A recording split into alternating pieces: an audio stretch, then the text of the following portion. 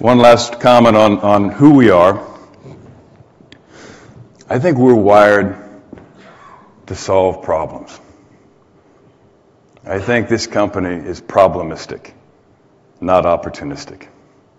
We build things that stand the test of time. Sometimes that takes a little bit more time. But what we do, what we do is so fundamentally important to the problem we're solving.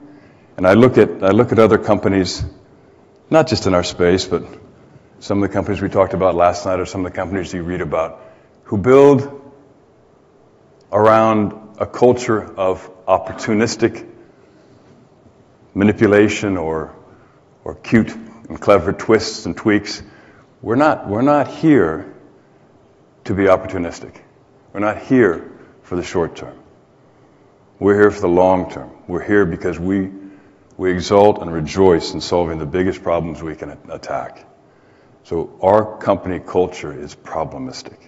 And I want to thank you for having that culture. I hope it always continues. This conference is about culture. I think we are, I know, we are the best company I've ever worked for. You're the best team I've ever had. Uh, it's the best group of customers I've ever seen. And it's the biggest problem I've ever tackled. But thank you all for that. Let's have a great day. Let's learn more about culture and let's hear from our great speakers throughout the day and tomorrow. So thank you all very much.